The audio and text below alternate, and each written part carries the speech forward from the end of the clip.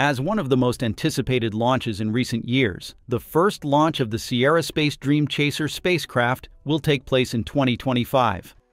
However, this launch window is under threat following the news that the ULA Vulcan Centaur rocket, intended to launch the spaceplane, is unlikely to be ready in time. This delay poses a setback for those eager to see Dream Chaser enter service. Given these challenges, Sierra Space may need to consider switching to a more reliable launch provider, such as SpaceX's Falcon 9. Despite the potential benefits of this option, the company has not yet explored it. So why? Find out everything in today's episode. Anyway, thank you for helping us reach 88,000 subscribers. Our next goal is 100,000, and we need your support to get there. If you haven't subscribed yet, please do. We appreciate your help. Thank you. United Launch Alliance's Vulcan Centaur rocket is considered ULA's new generation vehicle, given that it uses the new BE-4 engine from Blue Origin to power the newer rocket's first stage, as opposed to the Russian-made RD-180 used by Atlas V. Its main purpose is to meet the needs of the National Security Space Launch NSSL program. Despite ULA's long-standing partnership with the Pentagon, the Vulcan Centaur faces significant challenges in a highly competitive market dominated by agile private companies, particularly SpaceX. Therefore, ULA CEO Tory Bruno has long been obsessed with bettering this vehicle for example, advocated expanded capabilities for the Centaur upper stage. In 2020, he outlined plans for an enhanced Centaur 5 featuring increased energy, thrust, and duration capabilities to enable complex trajectories and ambitious future missions. More recently, he has promoted a high-performance, long-duration version that could operate for days or weeks in support of U.S. military operations. Also, ULA believes it can attract commercial launches, which started with the contract to launch Sierra Space's Dream Chaser space plane in Vulcan's second certification mission. Dream Chaser, often referred to as a mini shuttle, is highly anticipated as the ideal alternative to Boeing's struggling Starliner. In June 2023, Sierra Space and NASA entered into an unfunded Space Act agreement under the CCSC 2 initiative primarily focusing on the development of a crewed version of Dream Chaser and the Large Integrated Flexible Environment Pathfinder module. This initiative is part of NASA's broader strategy to promote commercial activities in low Earth orbit as it prepares for the decommissioning of the International Space Station, ISS, in 2030. To align with this strategy, the cargo version, known as Tenacity, is set to fly first. After several delays, it was initially scheduled for its inaugural flight at the end of 2024 aboard a Vulcan rocket. However, ULA has expressed a desire to launch in the fall to expedite certification of its rocket, leading them to replace Dream Chaser with a dummy payload for this launch.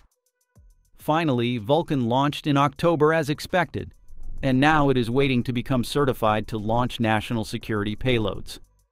On the other hand, it pushes Tenacity's inaugural flight to sometime in 2025. But given the current situation, it could be mid-2025 at the earliest. So why?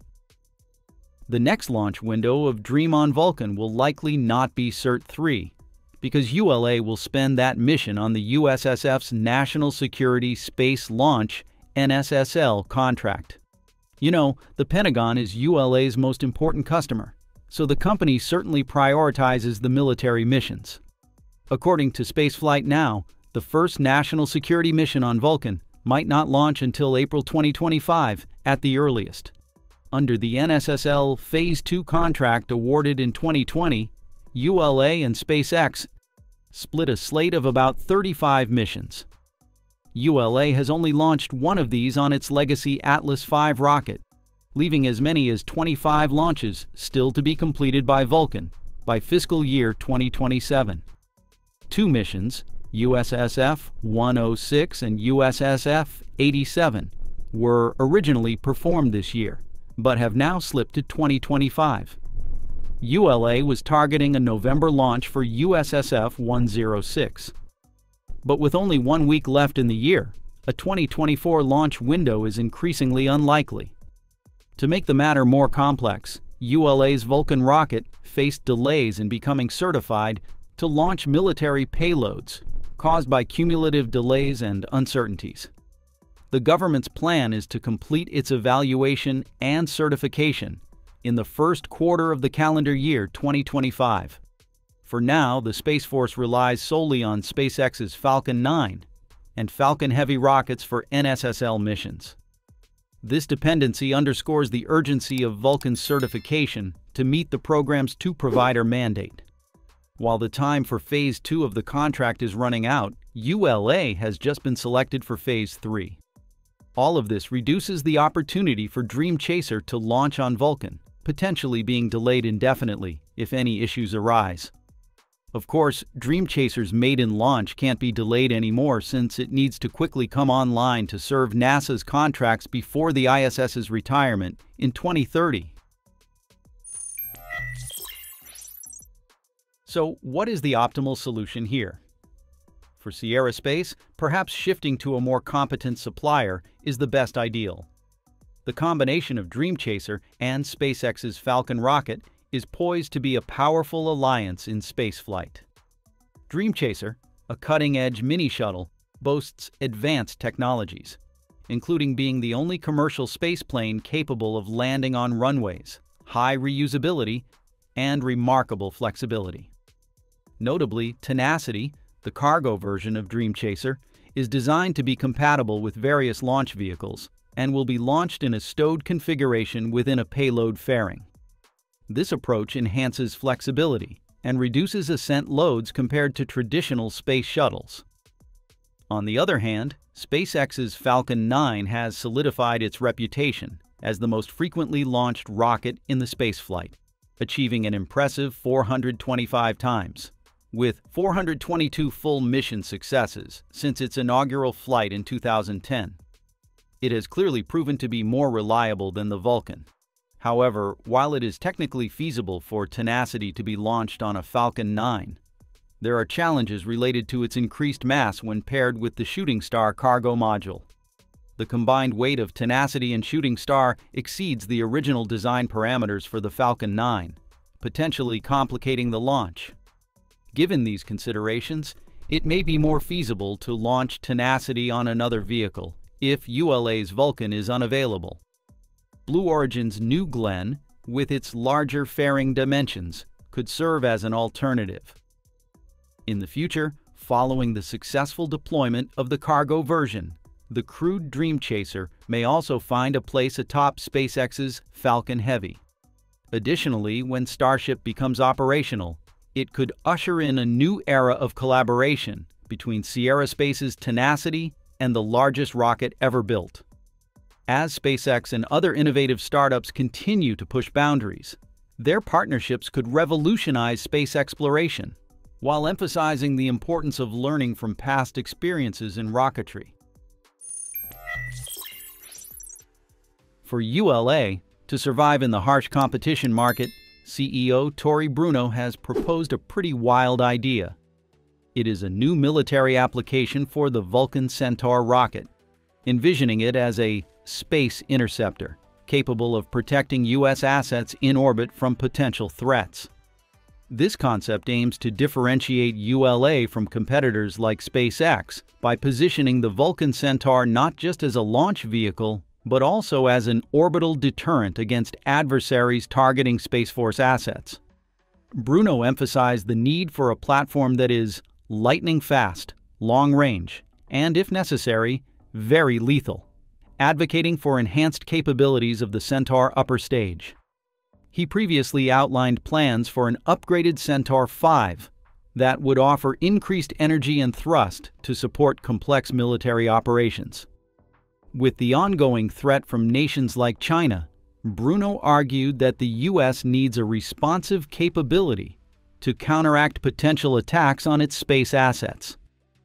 As ULA seeks to reclaim its position in the military launch market, which it has lost to SpaceX, Bruno urged the government to foster unique capabilities among launch providers rather than focusing solely on price competition. He expressed optimism about ULA's future, despite delays in Vulcan's introduction and speculation about potential sales by its parent companies, Lockheed Martin and Boeing. In terms of price, Bruno reveals the cost of a Vulcan rocket was less than $100 million, making it competitive with SpaceX's Falcon 9 and Falcon Heavy rockets. This will be a breaking point for ULA since its lines of rockets are notorious for extremely expensive tag prices compared to SpaceX rockets. ULA's launch prices have been reported to be as high as $420 million per launch, especially for military contracts, compared to SpaceX's typical costs ranging from 65 million to $150 million, depending on the mission type. For example, the base price for an Atlas V launch can range from $109 million to $153 million, depending on the configuration and additional services required. In contrast, SpaceX's Falcon 9 is priced at approximately $65 million for basic commercial launches. There are some factors influencing the high costs. ULA offers numerous rocket configurations, 41 in total, to meet specific customer needs, particularly from the military. This high level of customization adds to operational costs, Additionally, ULA previously used the high-cost Russian-made RD-180 engines for the Atlas V, which contributed to increasing the rocket's cost per launch. Equally important, ULA emphasizes reliability and mission assurance, which can lead to higher costs due to rigorous testing and quality assurance processes. The company argues that this reliability reduces overall customer costs related to insurance and delays, making it a better value despite higher upfront prices. Last but not least, although the competitive landscape has pressured ULA to reduce prices, ULA still positions itself as a premium provider rather than the lowest cost option. For over a decade, United Launch Alliance, ULA, a collaboration between Boeing and Lockheed Martin, maintained a stronghold on Pentagon contracts for launching spy satellites. ULA was the Pentagon's primary partner, enjoying what appeared to be an unshakable monopoly. However, the dynamics of the space industry have shifted significantly, and ULA now faces serious competition from newer, more agile players. Elon Musk's SpaceX has rapidly gained traction, securing around 40% of Pentagon contracts in recent years due to its innovative approach and competitive pricing. Compounding ULA's challenges, Jeff Bezos' Blue Origin is preparing to enter the market with its New Glenn rocket, which poses a threat to ULA's market share once it receives military certification. Simultaneously, ULA is dealing with internal issues that exacerbate the pressure from its competitors. Reports indicate that ULA has experienced budget overruns and declining revenues, primarily due to delays from customers who have postponed launches. These financial difficulties have sparked discussions within Boeing and Lockheed about potentially divesting from ULA, reflecting a decreasing interest from its parent companies. A spokesperson for ULA acknowledged that while the company remains profitable, its earnings have fallen short of internal targets. These financial difficulties have contributed to operational delays, particularly in preparing for critical Pentagon missions. ULA faced significant hurdles in gearing up for its last launch on July 30th. Quality control issues required the company to bring in additional workers from 500 miles away to Cape Canaveral, Florida, to ensure the mission was ready on time, and it was. And that just about wraps it up for today's episode. Thank you, and we look forward to seeing you next time.